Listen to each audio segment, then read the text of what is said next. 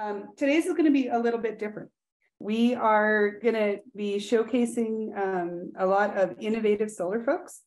And so we're, we're doing this a little bit differently and innovative. Uh, each person is going to have around five minutes to talk about their innovative solar design. Yep, and we've got 10 solar companies that are talking. Uh, and after they are done with their presentation, we will um, ask kind of about the design cost, if it's more, less, uh, or like kind of on a standard range. Um, and then we will post this recording as well, just so everyone knows. Okay, so we've done this all as one long presentation just to, to keep this quick. Okay, so we're going to start with Mo Horowitz from Solargik, and he's going to talk to us about the innovative agrivoltaic applications that they have there. Take it away, Mo. Thank you, Stacy, and thank you for this uh, opportunity. Um, and as you can see on the screen, uh, our focus in building our structures is really incorporating the three principles that you see here. Smart, lightweight, and versatile. In a sense, our goal is to address what we see as really the three biggest challenges of agri-PV, the ability to properly balance the sunlight between crops and uh, panels and be able to make sure that each side uh, gets the sunlight that they need. Uh, we focus on creating a lightweight structure in order to enable the ability to install it in many places, whether that's above crops, greenhouses, uh, other agricultural uh, structures.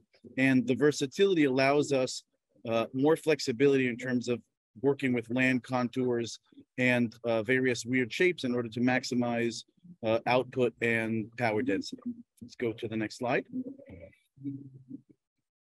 So even though today's focus is on structures, I'm actually going to start here with a few points around how we actually make sure that we can balance the light because increasingly for agri PV purposes, we are generally looking at dynamic structures where we are able to balance the sunlight and the shade between the crops and the panels. And what you see here is our ability to model and actually impact in real time the sun's path towards the ground or towards the panels. So in a sense, before designing and implementing a project, we're able to both create a agricultural model that tells us how much light is going to the crops, as well as a financial model that tells us how much of the sunlight is going to be used for energy generation crucial both for the farmers in terms of making sure that they can hit their agricultural goals, as well as making sure that the investors, developers uh, are able to get their financial plan approved by the banks if they're going to get funding for uh, the project.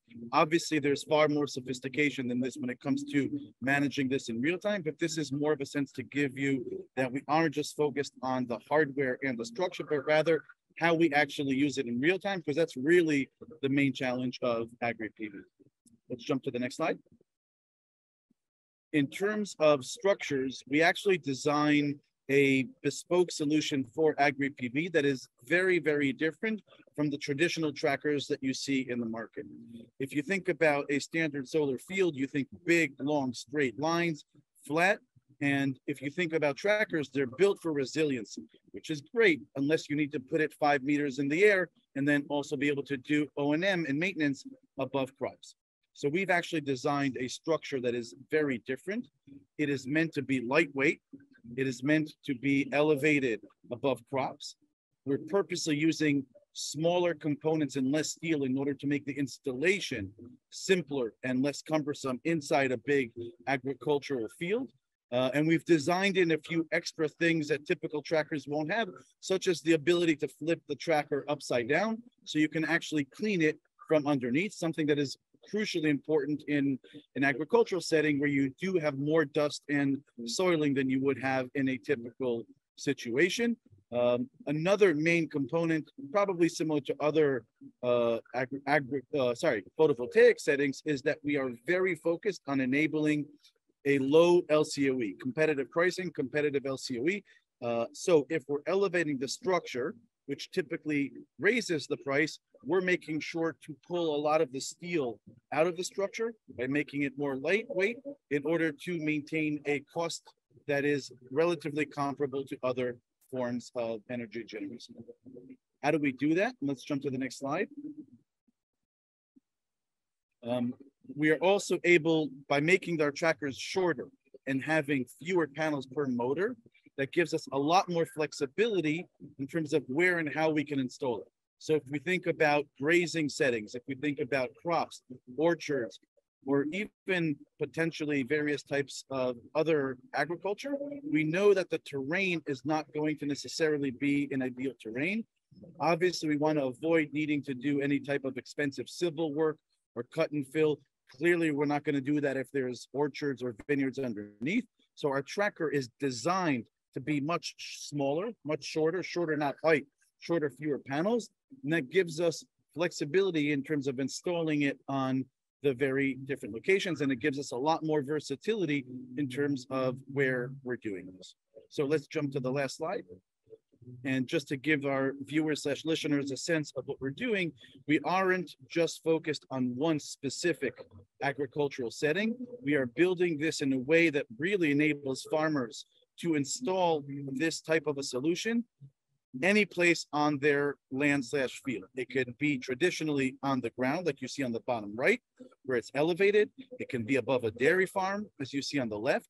It can be on a greenhouse, as you see on the top right, and it can even be above fish ponds. There are actually many more uh, settings that we can use, but this is meant to give the viewers a general sense of the versatility that we believe really needs to be added to these types of structures because one size does not fit all. And we know that in order to really generate uh, ideal returns, both from the agricultural sense and from the electricity sense, we really need to tailor this type of a solution for the specific setting. And that's a lot of the work and the research that we're doing, making sure that this can really fit in as many settings as possible to enable dual use of land usage and agricultural usage and solar energy generation. Thank you very much. And I will pass it on to some of the other presenters for today. Thank you so much. We're going to start off with Ian Score from Sandbox Solar. We just need to scroll down to their presentation. Yeah, Sorry about okay. that. Can everybody see that?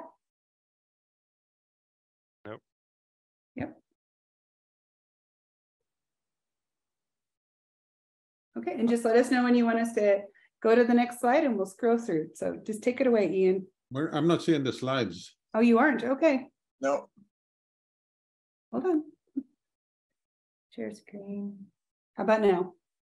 and then go down. Okay, Now you're, now I can see them. all right.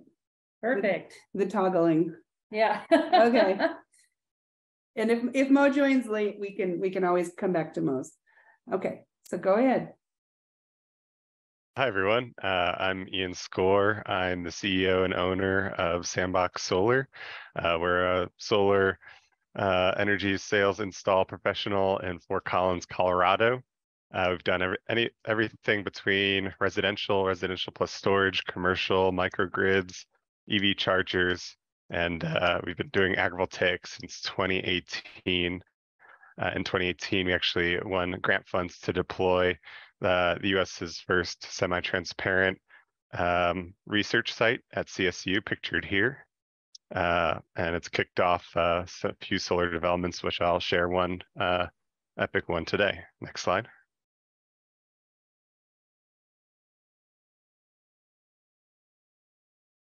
Next slide. Awesome. Uh, from this research, uh, we realized that developers need a tool to help farmers uh, decide what can grow underneath the crops. And so th- using the Spade agrivoltaic design software, uh, we were able to model the irradiance underneath the panels and show what kind of crops could have likely success underneath the panels. And uh, we're working with NREL and others at CSU to determine other factors like uh, water evaporation. Next slide. Uh, so using that model, we were able to approach a farmer and work, develop a solution for them to maximize their land use in Fort Collins, Colorado, where they didn't have any land or much roof space to install solar, but they had area between the greenhouses to install solar panels. Uh, so we installed a vertical bifacial solar panel setup between these greenhouses. And the farmer was super excited because the panels cast some shade on the edge of the greenhouses, which uh, they thought would help reduce the edge effect of the greenhouses, meaning the water evaporation, yet let enough light through to uh, continue to help the crops grow. Also, with the uh, greenhouse film, we get a high albedo effect, and so we're producing high energy on both sides of the panel. Uh, and this takes place at Summit Plant Laboratories in Fort Collins, Colorado. Next slide. Uh, so here's another close look up of our team installing the solar panels uh, mounted vertically, uh, producing energy from both sides. Next slide. Uh, so you can see from a little snippet of a full sunny day, uh, this is a 15 kilowatt system and we're peaking both in the morning at about 9 a.m. and the afternoon around 3 or 4 p.m. So we get a double peak outside the normal uh, typical boundaries of a solar system, which is incredibly unique and exciting. Um, also, uh, we noticed that there's no so, uh, snow soiling effect on the solar panels, uh, meaning that the snow sheds right off and we're producing way more energy uh, from this system in the snowy conditions of Colorado uh, versus the rooftop and other ground mount systems. Next slide. Okay, next we're going to hear from Jake Marley at Hyperion Systems. Hi, everyone. Um, I'm Jake Marley. I'm from Hyperion Systems. Hyperion is a project developer and EPC contractor based in Western Massachusetts. Um, in this presentation, we'll look at a few of the projects that Hyperion installed in its early days, uh, which was the 2010 through 2012 sort of time frame. Uh, the picture we're looking at here is from the South Deerfield UMass Amherst uh, Cafe Center which is the Center for Food, uh, or excuse me, Agriculture, Food, and Environment. Um, this project was built in, yeah, 2010, so quite a, a long time ago. Um, it was brought about through a private sector, uh, public sector collaboration because at this time there weren't any racking solutions specific to agrivoltaics that were commercially available. Um, so this is something, uh, this racking design that we've used at a couple of sites. We'll look at a commercial, small commercial, and then a slightly larger commercial in the coming slides um, that is, is similar to this racking structure. A couple of the details that I kind of wanted to point out. Um, it's over engineered. Um, the, the company Hyperion's founder, Dave Marley, uh, wanted this not to be an issue for the, the coming years. Um, in from 2010 through 2015, there were cattle grazing underneath the panels, um, which are elevated five to seven feet. Uh, there's a bit of a slope at the site. Um, one of the things that they found early on, or one of the challenges early on they had to overcome was um, uplift. And so they installed this without any concrete. Um, in, in order to do that, they increased the surface area. So these are uh, eight inch Schedule 40 steel posts, but they actually increased the surface area of the post by welding fins sort of at 90 degrees. Um, so those are buried about 10 feet into the ground. Uh, again, no concrete, so a lot easier site install um, Hi there. and a lot easier Good. to remediate at the back Thank end you. as well. Um, the couple of so this part this project has been a part of the uh, NREL Inspire study, which is now in its seventh or eighth year. Um, the crops grown, uh, agronomist Dr. Steve Herbert from UMass Amherst has been in charge of that study. Um, Hyperion was tasked with creating a financial model for Inspire 1 and, and was a part of Inspire 2 as well. The four crops that Stephen and his team have grown consistently are kale, uh, Swiss chard, green bell peppers, and broccoli and they've had varying levels of success. Uh, the drier years, 2017, 2020, and 2022, yields were really quite comparable um, to the control group, uh, which was full sunlight. Um, I think that's about it. A couple of the other unique things about this site, uh, it was really set up as a research pilot project. So some of the parallel or, or yeah, I guess parallel spacing between the modules uh, varies between three to five feet. So some of Stephen's studies touches on that, um, the different growing conditions. And you can also see the last thing I'll point out on this slide is uh, the shading of the panels. Throughout the day, that sh- uh, shade will really cast and, and, and change uh, its variation, allowing for, for different amounts of sunlight. So those three, four, five foot spacing um, allows a little bit more insight uh, for the researchers and, and, just more data points. Uh, I think that's enough about this slide. We can go to the next.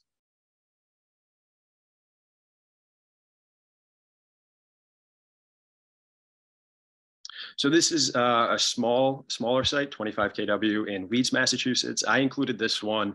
Uh, these are four inch Schedule 40 steel posts. So what they found um, at the UMass site uh, doing some pull tests, that eight inch was a little bit overkill. Uh, not not to be uh, too certain, I guess the, the first time really trying this in 2010. This so this was at a family farm. The owner didn't want to um, lose any of its family garden space. Uh, this site services. It's a net meter project, so the power goes back to the grid, but it services um, his home and then his son's home, which is uh, neighboring here as well. So services their power needs. Uh, one of the reasons I wanted to include this is because of the drip edge. Uh, we go back to the last slide, sorry. The drip edge. So that's something that at UMass they learned early on. Of course, there's a compaction point for any rainwater. So one, um, I guess, tactic that this farmer used, this grower used, is um, allowing the vegetation to kind of grow up a little bit here, uh, not out of control. It's it's still um, he's keeping a close eye on it, but it might be um, it, it, might I guess, yeah, compact the soils there, but if you have to be mindful of, of planting is, is um, sort of what I wanted to highlight there. And anyone on the webinar today has heard uh, Byron from Jack Solar Garden talk about that. I think in a commercial setting, you might put straw down on those, um, on those drip line areas. Um, he's grown. So this grower has he has broccoli sets here, and you can see in, in pretty full shade. Um, this is from June of last year, so he had probably just planted these, which is why they're they're small starter sets. Uh, but he's grown a variety of crops. Um, squash, even watermelon, which is really a, a sun-loving crop. But he's had uh, pretty good success, and we can move to the next slide. So this is a rendering of that picture, and I wanted to include that because I thought it offered a different perspective of the shade. Um, this is, of course, south facing, so we're sort of at like the northwest corner, I guess, of the array. Um, this offers some panel spacing, row spacing. Um, you can see over in the left side, the panel height listed about 15 feet to the back edge, 11 feet to that horizontal piece, or what uh, we would call, I, I, guess, the spline. And then it's about five to um, about five feet to the leading edge at this site. The, the front row, it's a little bit closer because there's a slope down towards the front. But um, I think that's about it on this slide. And I'm probably getting close to the five minutes allocated, but this is a site in Hadley, Mass. Um, the owner of this array, this served power for some of his commercial um, uh, businesses, and um, he hasn't grown anything directly underneath, but um, Valley Malt produces both in, in front and back of this array, um, growing barley, wheat, rye uh, for their uh, their brewery production. This is a 100 kW array built in 2012, same racking design, a lot tighter panel spacing compared to the three or five foot. Um, this was a commercial use setting, uh, and I think it's worked out pretty well. So those are about six inches there. I'll yield the floor to James. Thanks, Jake. Yep. Hi, everybody. I'm James McKinnon, CEO and, and founder of Helical Solar. We are based out of uh, Leander, Texas. So we're a rural solar uh, and agrivoltaic startup. Our additional funding has come out of uh, U.S. Department of Energy SBIRs. Uh, we're also pleased to be part of the upcoming USDA Climate Smart Commodities Low Carbon Beef Consortium. Uh, we're going to install um, basically dual use inside of feedlots so our product is a four meter high or four meter panel height um, bifacial dual axis tracking design. And it's unique because it doesn't have concrete or guy wires to install. Um, we use a, a, patent pending helical, helical pile to do that with. And so we are targeting uh, full size livestock and row crops. Um, and our business model is a little bit different than typical uh, solar solar companies. Uh, we are trying to become a B2B partner uh, with utilities, whether that's co-ops, uh, municipalities, or IOUs. Um, we also offer easy removal and recycling at the end of life. Uh, it actually goes out easier than it goes in. And we are seeking seed funding right now and paid pilot opportunities. Next slide.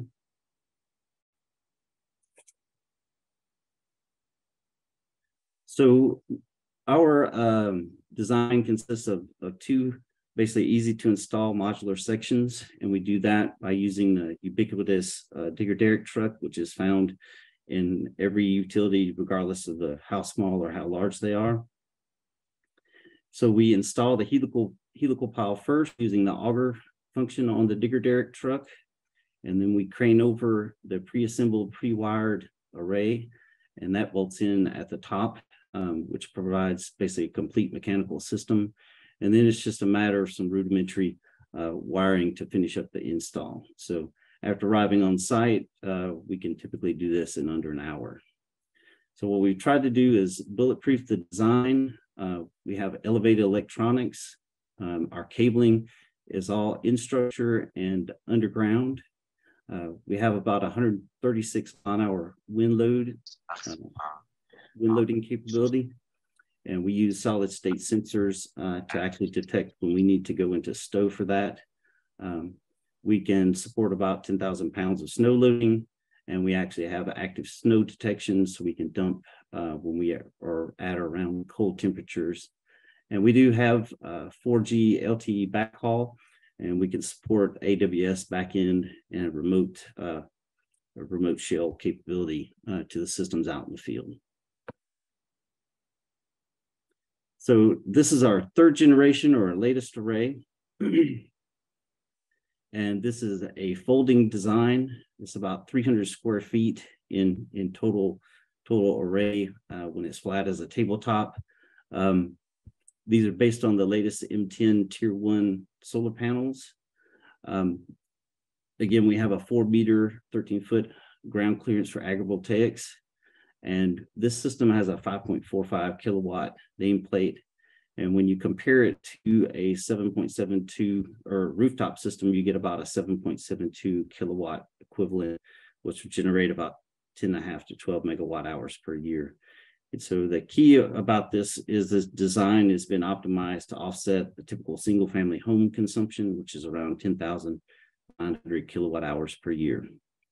Uh, because it is a foldable design uh, for transport, we can ship four of these on shipping skids, four per standard 18 wheeler flatbed.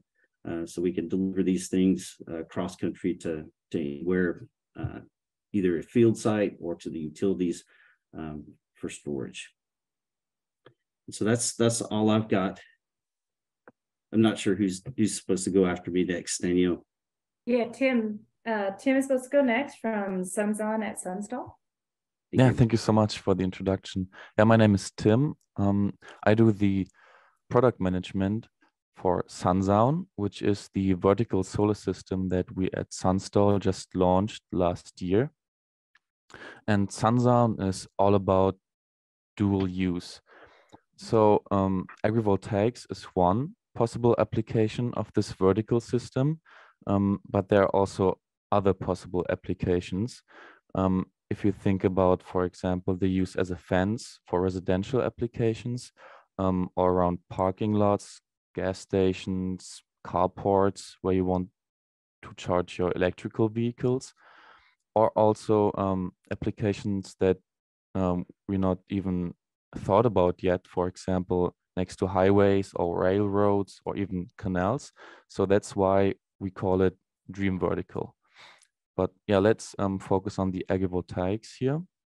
And if you go to the next slide, then um, we can see yeah, the racking system from a closer view here. You see the um, bifacial panels and the anti posts that are driven into the ground, and also some of the dual use benefits of a vertical solar system.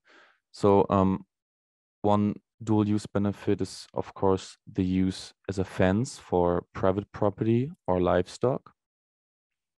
Um, but if you install this on a farm, you could um, benefit from some wind protection.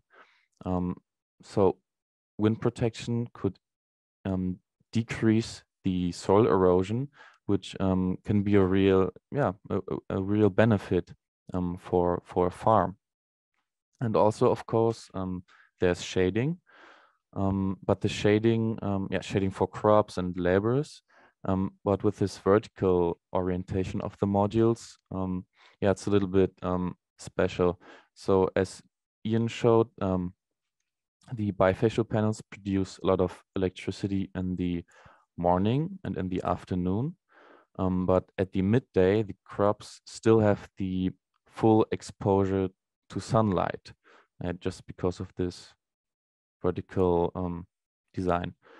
Mm, and also, it's yeah possible to harvest between um, the rows. Um, for example, you, you, you could imagine a, like a couple of rows with maybe um, eight meters row distancing, um, and then you can move your harvesters um, between the rows. Um, yeah, so if we go to the next slide, then we can see, yeah, you, you, you can see it better here. Um, so all the pictures that I showed you are from our first project um, on a winery that we had where we installed the Sunzaun. and yeah, you can really see how the the system here just yeah fits between the existing rows of the grapevines. Um, and what we also learned with this um, system or this specific project was um, that agrivoltaic installations have specific challenges. So on this project side, it was really the slope um, that to to move the the equipment here and to get it installed was was challenging, but we made it, and we also learned, um, yeah, that this vertical design with all those posts uh, can follow the the slope quite well and just yeah suit suit the farm well. So the farmer was really happy that he just had to take out one of his rows of the grapevine, and then he could just yeah have some some solar panels right on his vineyard. Mm, and I think every agrivoltaic site has um, yeah, specific challenges depending on the crop or the the animals that are on the farm um, or the goals that the that the farmers have. Um, so I think this also yeah, influences then which system will suit the farm the best. Um, yeah, so the vertical system is our product. Um, we call it Sunzaun. Um, and yeah, thank you so much um, for giving me the opportunity to present it here. Um, I think it's um, really good to have yeah, webinars like this where we can learn. I think the AgriSolar Clearinghouse is doing a great job here. And yeah, to every farmer or solar developer um, or yeah, everyone who, who attended this seminar and is interested in learning more about the vertical solar system or want to yeah, share insights about agrivoltaics in general, feel free to reach out to us. We're really happy to discuss. Yeah, so thank you so much. Thank you so much. That was great. Okay, David McFeeters Crone is next, talking about RUTE and SunTracker. Thank you, Stacy, and uh, thanks to uh, AgriSolar Clearinghouse for having this great session today. I've already learned a, a ton about some of the other foundations that are out there. Um, I'm Dave McPeters Crone from RUTE Sun Tracker. What you see uh, on this first slide is a rendering of our recently permitted project in Grant County, Oregon. That was unanimously approved through uh, through that process. Uh, RUTE has uh, a number of unique uh, applications, uh, but we're really focused on cattle and rangeland. As as you all know, um, there's a lot of impact on being able to do dual use, particularly with grazing. But frankly, there just aren't enough sheep. So uh, there's about 10 times as much grazing land for cattle as there is for all other animals combined. And in fact, there's about three to four times as much cattle grazing land as there is for all the food that's grown in America. So there's a tremendous opportunity if we can just get the panels off the ground and have it be robust enough for cattle to freely enjoy the shade and the great forage that exists underneath it. Uh, can you move to the next slide? Our, our technology has been funded uh, in part by the DOE as well as by the USDA through SBIRs, as well as some private funding. What makes our technology unique is the fact that we use cable stays to hold up relatively thin poles as we uh, support what I would call a, a modified vertical single axis tracker. On this diagram, um, you can see that this, this relatively thin pole is supported by these red stabilizing cables, which go through the array diagonally and more or less stay solid uh, for the entire day. Um, then also there are rotator cables that are attached at the corners of each of the beam, uh, which is at the bottom leading edge of the uh, solution. As you can see, also the lower edge of those diagonal cables are about nine feet off the ground. We can vary that. Um, we're also pretty tolerant with sort of rolling grassland. Um, and as a result, we can handle a, a lot of different environments. On the base of the stems that hold up the solar panels, it's a relatively modest, minimal impact footing that's really just holding the pole from sinking into the ground. It is secured through uh, cable anchors, which are also minimal impact, in order to hold it um, for any uplift and also to resist any side push that may be coming from cows, which is relatively modest compared to the the wind uh, the wind demand on these arrays. The panels are also capable of being tipped into a stow position and leaned back essentially if the wind gets too intense and also leaned forward to shed snow. That happens through the our SCADA system, which is connected to the stabilizing cables and is able to draw the panels forward or back depending on what the needs are at the time the um, rotator cables and the stabilizing cables in concert are able to hold on to these panels as the as winds uh, progress. The um, nice thing about what we've done is you can see in the diagram the hedral truss, which directs most, if not all, of the wind force down to a spot on the initial cable on the initial pole, which is basically proximal. So as a result, there's very little bending force on these poles, which is what lets us get away with so much less steel as we move forward. We anticipate that we can build at height for uh, about the same amount of steel, if not a little bit less, than ground-based solar, and significantly less steel than uh, some of the higher, more reinforced uh, solutions that we've seen out there, according to our estimates. We also believe that our the our manufacturing capabilities or our assembly procedures are more efficient than ground-based solar, and there's some other efficiencies that come from that. And of course, it's much better for uh, ground prep because you don't have to have any fencing. The, uh, the there's no uh, leveling that's necessary for putting in these poles. So there's a lot of advantages on how that works. If you can move to the next slide, I will show sort of how the rotating works. So in a series of slides here, what you'll see is the the red and the green rotator cables are attached to that first pole, um, which we call a bloom on the left-hand side. And as we progress, next slide, the those are pulled in and then uh, pulled out by winches that are located on these pitch poles assemblies, which are on the uh, well, oh, surrounding the entire perimeter of the uh, solution. The winches are most active on the south and the north side, which are the ones that take care of the rotating as well as um, holding on to the panels in extreme wind events. Um, one more slide just to show it clicking all the way over. So um, what we have here is a, we think is a, a pretty solid solution that um, uses what we would declare as modern bridge technology.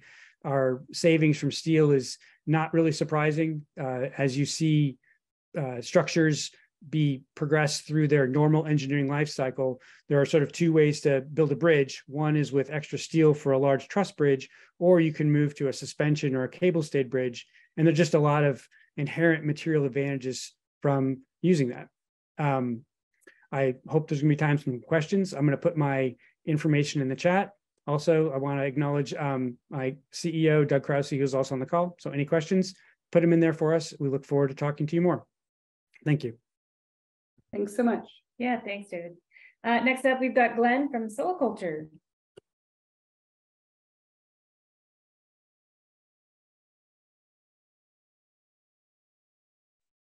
Sorry. Yeah, hi, this is Glenn Allers with a Soliculture.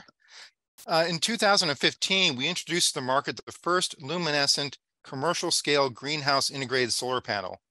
This was after three years of development working with commercial local greenhouse growers and the universities. Since that time, we've installed solar into commercial greenhouses from California to Boston and into Canada. To date, we've only seen positive responses from the crops grown underneath our panels. This picture, for example, is a half acre installation that we did in a 15 acre greenhouse in Ontario, Canada. This greenhouse produces organic herbs like basil for the city of Toronto. The power needs of a climate controlled greenhouse are very high. The power produced by this installation is fully consumed within the greenhouse. So our business model is to offset the greenhouse electricity consumption at retail rates which greatly improves the ROI relative to selling power to the grid. This array has been in operation for about four years now, and it consistently produces about 30% more power than the STC rating due to reflected light and the luminescent film, which I'll talk about next. Next slide. so our panels use a color shifting technology that comes about from a luminescent pigment that's included inside of the panel. This pigment selectively absorbs the green portion of the solar spectrum and converts it to red light. The red emission uh, has two advantages. First, it improves plant growth. Plants are green for a reason. They don't like green light and they want to reflect it away. Whereas red light has the highest photosynthetic efficiency of any light in the spectrum. Therefore, by increasing the amount of red light, we can increase photosynthesis efficiency without adding additional stress to the plants. In this way, our panels can actually stimulate plant growth. The second advantage of the green to red conversion is that much of the emitted light is captured within the waveguide of the glass plate. The emitted light travels through the glass and is absorbed by embedded solar cells within the panel. This increases the current output of the cells by as much as 30%. In this way, the luminescent pigment enhances both power and plant growth.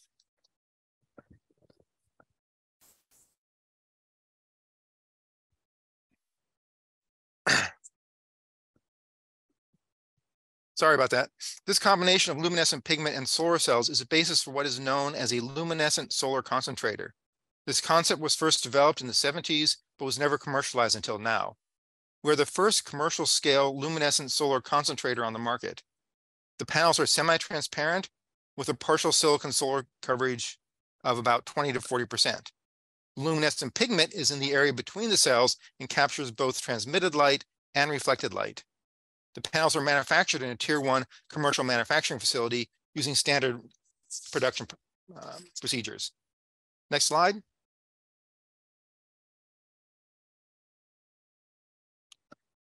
The advantage of combining solar with covered agriculture is that relative to open field agriculture is the increase in resource utilization.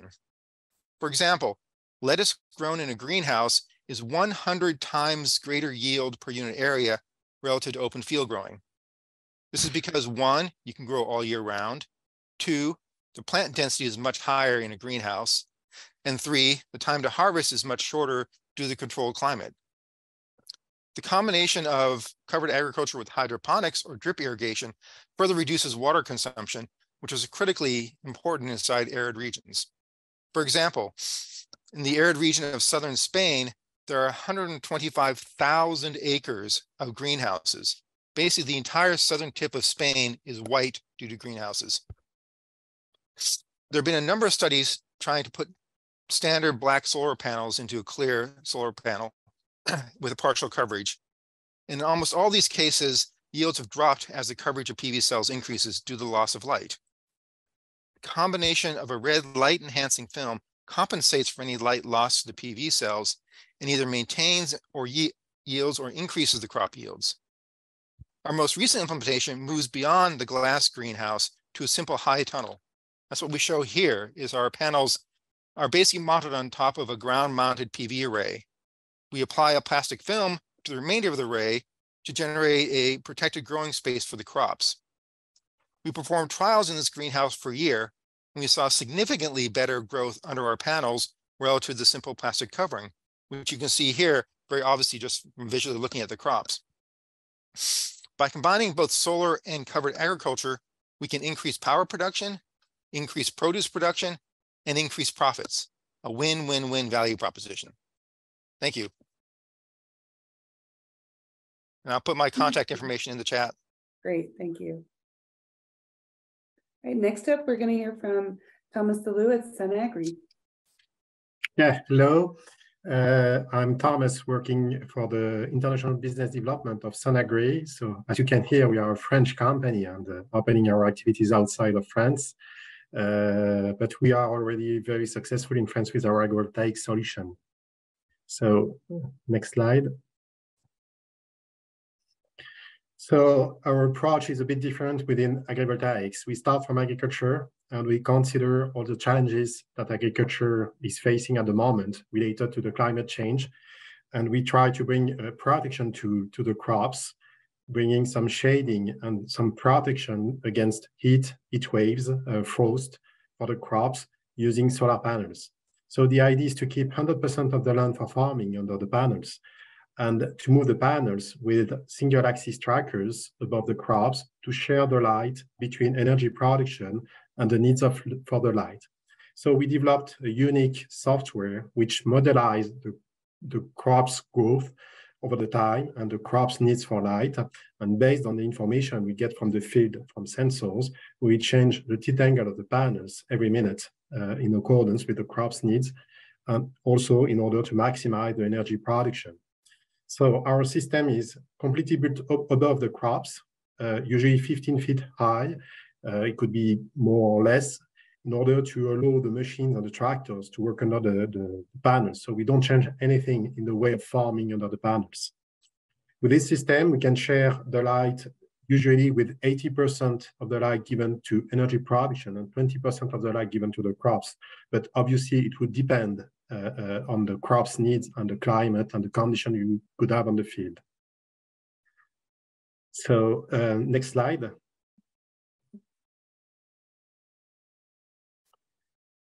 So as I said, the way we work, we start from agriculture, bringing benefits to the crops. And we bring also our expertise to the IPPs and developers in order to uh, develop uh, uh, valuable and profitable projects uh, for agrivoltaics with our solution.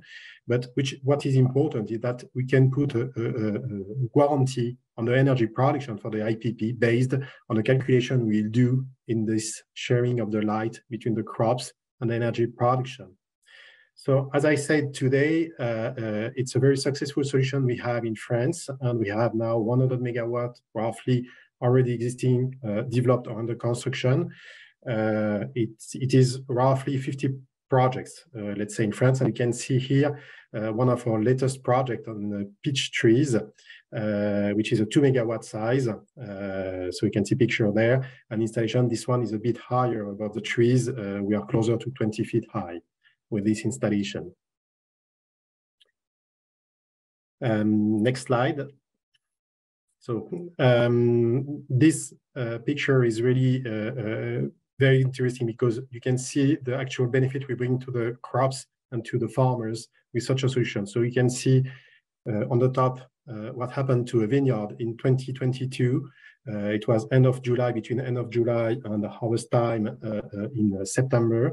So on the top of the picture, you can see the vineyard and the grapes uh, uh, uh, not protected by solar panels. And you can see the sunburns on the leaves and the burns on the fruits and the fruits that are dried on the right. And under the protection, you can see that, yeah, it's much better for the, the, the, vines and the, the grapes looks much better. The quality of the wine was also better because we were able to manage the acidity level and, and the sugar level within the grapes uh, by managing the light in the right period for the, the, the, the, fruits. So it means that we really bring benefits to the farmer there, and we share these benefits with the IPP and the poor producer uh, uh, with this project in ensuring that enough energy would be uh, uh, produced uh, for the business plan to be profitable and that the farmer will be convinced by such a solution. So that's uh, actual uh, dual use of the land, but with also a, a clear dual benefit for the system. Okay, and that's it. Yeah. Well, thank you so much.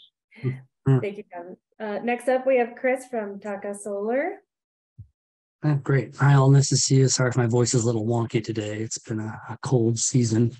Um, yeah, so Taka is trying to develop some novel solar panels, I think, that address some of the issues that um, our friends like RUTE and Sunagri are also working on. So hopefully we'll all together come to a really good solution. Um, next slide. What we're trying to do is make specialized solar panels whose basis um, is, is using glass tubes. This is inspired by um, solar thermal tubes that you see a lot, particularly in Asia, but also the ever beloved Solyndra where I used to work. Um, and those tubes actually have a bunch of interesting advantages. Uh, now, just I should note parenthetically that we think our first real market is actually going to be over parking lots, but agri-solar is a wonderful um, follow-on market that we're looking at.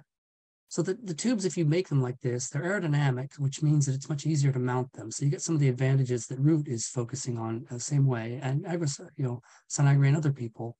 But you also get sun tracking out of the tubes because the solar cells face east and west simultaneously. There's no moving parts, but you still get sun tracking behavior.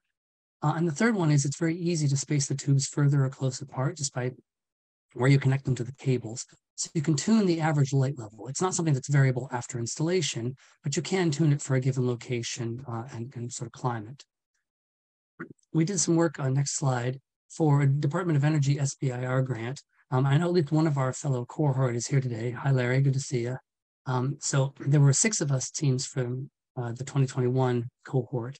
And I'm sorry to say nobody got a phase two award. So the DOE seemed to be really hating on AgriSolar last year.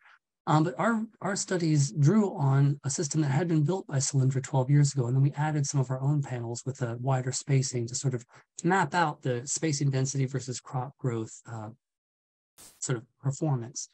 And it worked really well. So you can see the, the panels there at the left and the different kinds of shade cast on the ground. Our system is the one kind of in the distance with the tubes far apart.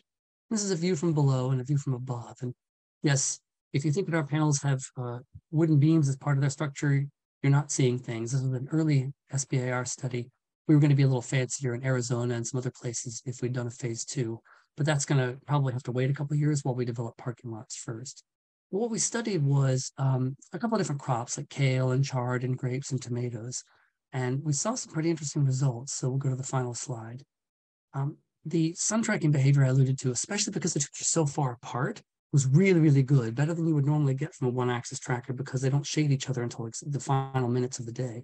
So we think uh, we sort of separated out effects from reduced soiling. The dew would tend to drip the dirt down to the bottom where it was less of a problem.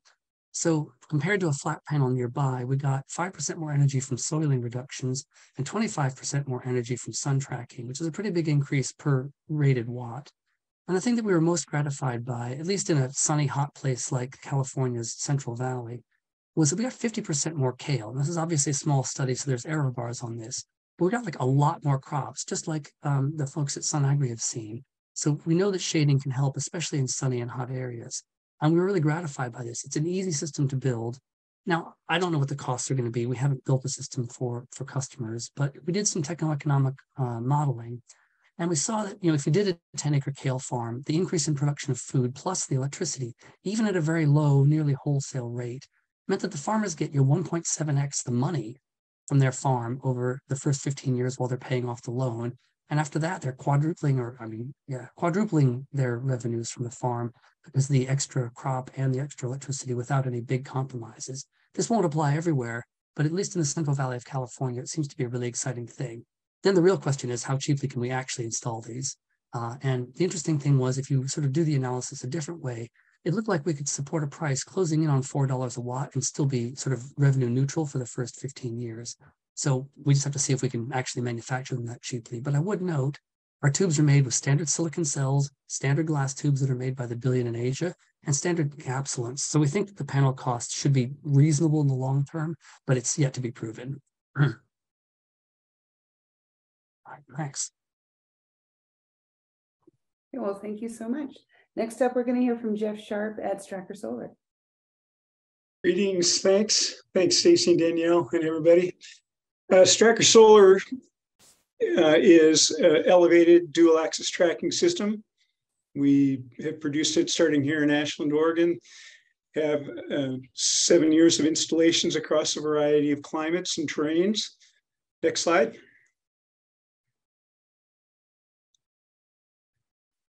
Um, the idea of this is a minimum 14 foot ground clearance below. We're robust. We have one of the few trackers that have a UL 3703 listing, um, patent pending. and a minimum 14 foot ground clearance at all time works for typical combines and tractor operations. I, I was a organic farmer in Montana before coming to do this one. Lots of years of solar industry experience. Next slide. Uh, the beauty of it, of course, is dual axis tracking stays perpendicular to the sun all day long. So we get that maximum power generation at all times during the day. Uh, these are our Model S1B. They're 12.6 kilowatt units, uh, showing 50% greater energy gain than flat rooftop units, 50% uh, more than uh, optimally tilted and pointed fixed units. Next slide. So uh, our 120 mile an hour wind rating, we each batch is load tested to meet the loads that we need to, to, to meet. Um, pole mounting works on up to 40 degrees slopes. We can handle hilly slides. Each unit is independent in that it has its own GPS validated control system. Um, we can put together groups of these, typically in 200 kilowatt blocks, to be able to work off a single anemometer. Yeah, the ones you see here and the more typical ones are each one has its own anemometer to go into its safe stow position whenever the winds pick up a little bit. And we are seeing that owners are really appreciating the, the visual representation, kind of the, the curbside appeal of, of, of what's going on with that. Next slide. robust and reliable, all domestic steel structures. So we're able to do the 40, get, get the 40% FITC, UL listed 120 mile an hour wind, 30 year structural and PV warranties. Um, in our minimal maintenance, we have a total of eight zerk points for greasing. There's two large slew drives, one for each axis of rotation. That's a, a simple annual 30 minute maintenance plan plus looking at it visually. Um, and I guess that's what I got. Is there another slide? There is not. Okay. Uh, I, I, guess I'll add we're we're sitting at about 350 a watt right now. Um, that's about equivalent to 230 a watt on fixed because of the extra power we're producing, and also our analysis has shown that we have about 65% lower carbon footprint per kilowatt hour produced, primarily because of the more power that we're getting, we're getting maximum power from each PV module and in all of these systems, we're seeing the modules are by far the biggest uh, carbon sink, carbon footprint. Great. Thanks. that, that leads perfectly into our, our, our follow-up question, which is, if we could go around the room in the order you all spoke, could you all speak to the cost of this? Is it similar? Does it compare? Is it more? What are you seeing for costs? And I, I think we'll start with Ian Score from Sandbox.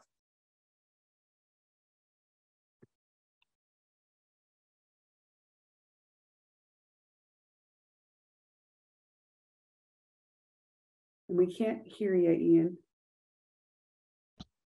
There we go. There you go. Can you repeat the question one more time?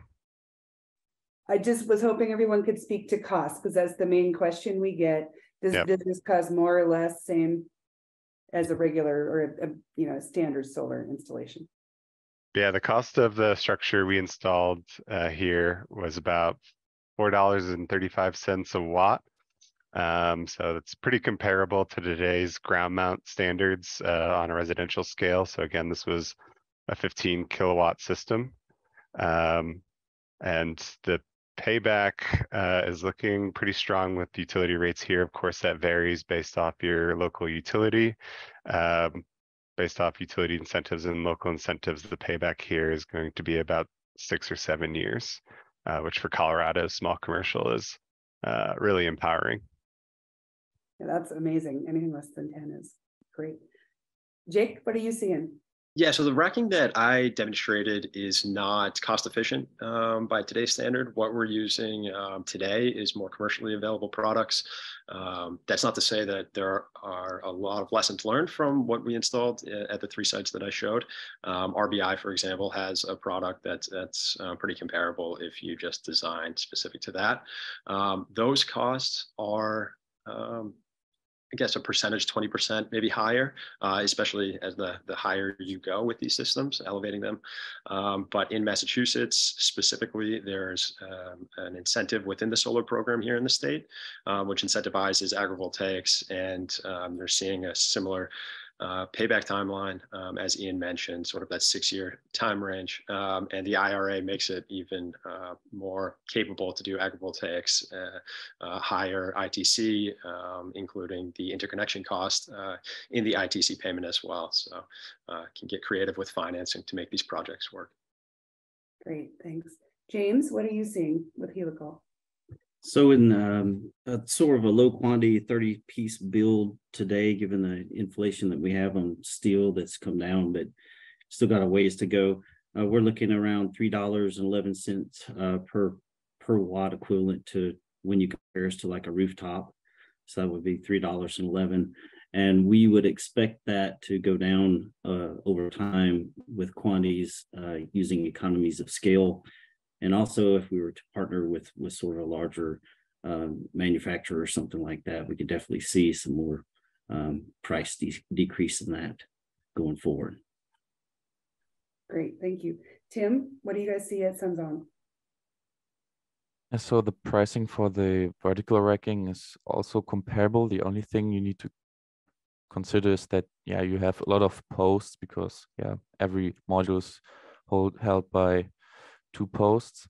Um, but then on the other hand, um, you can choose which module you, you want to use. So the system works with different kinds of modules. You can use 350 watt modules, you can use 600 watt modules. So the price per watt can go down if you use bigger modules. Great. Thank you. David, what are you seeing for costs in your design? So uh, RUTE is really designed for large scale deployments. We're looking at rangeland, so not some of the smaller installations. We think at scale, which we would define as about a 4.5 megawatt block, we are comparable to a ground based HSAT trackers at the present time. If you go smaller, the prices go up. The rendering I showed you earlier was for a 1.5 megawatt system, and we're looking at even at that size about $2 a watt and we're just not as susceptible to some of the steel issues as well. So that really makes things a little bit more solid when contractors are trying to price things out. Great, thank you.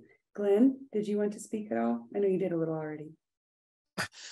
Uh, yeah, so if, if you don't consider if you consider the panels as just an incremental cost over the cost of the greenhouse, then we're extremely competitive. We're probably less than two dollars per watt, especially relative to building a solar array next to the greenhouse. So by integrating into the greenhouse, we also qualify for a lot of incentives that actually makes the panels come in for free. And that gives you really good ROI. So just considering the incremental cost of the panels in the greenhouse, we're below $2 a watt and very competitive. Wow. And so are those incentives your utility incentives or are they state incentives? Uh, most federal incentives, both the USDA is now being very generous with incentives as well as the standard tax credit. The big advantage is that you can apply the tax credits to the entire structure, not just the panels. Oh, and, and that's what ends up paying for the panels.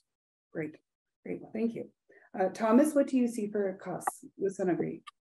Yeah, um, so the solution we propose uh, is an elevated supporting structure. So the main difference compared to ground mount power plants, the additional steel you need to elevate the structure. So it's highly dependent on the height you would uh, have for the supporting structure usually what we can see is an additional cost there, uh, which is roughly between 20 and 30% compared to a, a similar ground mount power plant. But that's really important not to make unfair comparison there because we speak about agrivoltaics. So it means that we don't bring only green energy there. We bring uh, uh another thing, which is uh, benefits to the farmers and to agriculture. So additional revenue or protection on the crops or things like that. So um, we have to be a little bit careful with such a comparison regarding uh, traditional power plants on a rooftop or, or ground mount and such agrivoltaic solutions which are more combined approach there. Uh, and also, as uh, Glenn said, uh, uh, there are at the moment in the US many ways to get some additional money from support, from incentives, or also from you can avoid in some areas some mitigation fees to use the land, things like that. So there are many ways to compensate this uh, uh, spread between the cost uh, in, in such solutions also. I agree. Yes, and we have a whole funding map um, that can help folks if they want to look on our on our clearinghouse. Yeah. And okay. I, we... okay. So that's a great question, and it's actually the main focus that we took into account when designing and building our structure. Because if we're just thinking about doing this on one farm here or there, or to be reliant on incentives, yes, we can design a really robust structure that adds three, four, five times the capex, and it will be beautiful on paper, and it won't actually get done in real life. So we understand that for this to scale, this is not that different to where the world of solar energy was, say, five years ago until we hit grid parity. What happened when we hit grid parity? Suddenly, this just makes financial sense, and we see a hockey stick effect. We understand that in order for agri PV, agrivoltaics to pick up, the same thing has to be true. It cannot be solely reliant on incentives and it has to make financial sense. That's why what we did is we historically the main cost of an of a tracker system was the motor. Once I had a big, heavy, expensive motor, I tried to put on as many panels as possible 60, 70, 80. Most tracker manufacturers compete on how many panels they can add. We're doing the exact opposite. We're trying to use many motors, small motors, cost effective motors, but that lets us pull out a lot of the steel. So about 30 to 50% less steel. So our agri our agrivoltaic structures that you see here end up being roughly the same cost as your standard ground mount system. So our standard ground mount system is about 20 to 30% cheaper than the agrivoltaics. But our agrivoltaic structure, because it's using less steel, is actually at the same cost as you would see for a standard ground mount tracker, right? And that was not an accident. We understand that for this to really scale, the cost has to come down. So this can be cost competitive with any other solution on the market. I don't mean any other agri PV solution any other PV solution on the market. So you can have an agri PV field on one side and you can have a ground mount field on the other, and they need to be able to be similar in terms of cost. And that's one of the things we are working to improve and bring to the market. Thank that's you. just great. Thank you so much. Okay, Chris, did you want to speak at all to costs from Takas? Yeah, I mean, I sort of mentioned it before. We're, we're early enough that we don't have any hard numbers. Um, I would just say that, as I, I mentioned before, I think both Sun Agri and RUTE are sort of the leaders on thinking about these kinds of questions in the way that we think about them, trying to take advantage of tensile members as a key element and trying to, you know, sort of just get the solar tracking benefit that both benefits plants and uh, the crops. We have reason to think we can get it down to $2 a watt. But you know, you see numbers for Jack Solar Garden, which are all over the place. But in theory, you should be able to do that at large scale, same as any other one-axis tracker for around a buck. We're not going to be competitive with that. But as as Thomas mentioned, you know, you're producing more crops, like you're actually benefiting the crops, not trading off for them. So that's a major source of revenue for the farmers, which can support the somewhat higher costs that we have. And I think that applies to a lot of the folks here. Um, but if I were to try to give a number, it would be very disingenuous at this point. We're not far enough along. Great, thank you. And, and Jeff, I know you also spoke, but do you have anything else you'd like to add? Uh, just add a couple things. So I'll uh, reiterate, we're about 350 a watt uh, turnkey installed. It, that's equivalent from the extra power that we produce. That would be equivalent to about two dollars and thirty cents on a fixed system. We're also exploring ways to reduce those costs by using a driven pile foundation system for both our, our foundation and our pole. And I'd also note that the continued use of the ground below, the fact that if you put these over parking lots, over farm ground, you don't have to put any fencing up, you don't lose any of that. If there's any value on that land, that, that gives us another really um, value add. Thanks. That's great, thank you. So I'd like to thank all of our presenters. We're coming to the top of the hour. If you haven't already, could you drop your contact information into the chat so attendees can follow up with you if they have questions. Uh, we will have this posted within around a week. Um, and then if you have any questions for us later or want contact information, you can always email us at agrisolar@ncat.org. Yeah, thank you for all of our participants for joining. Uh, this was a very informative hour. So um, everyone that presented, like blown away by your research and what you developed. Just great, great stuff. Yes, good job, everybody. Yeah. Thank you. Thanks all. Thank you. Thank you guys all. Okay, we'll stay on a couple minutes to let everybody drop their, their emails into the chat. And if we haven't seen you yet, uh, we'd love to come tour. So to all of our presenters, we're coming your way. Yeah.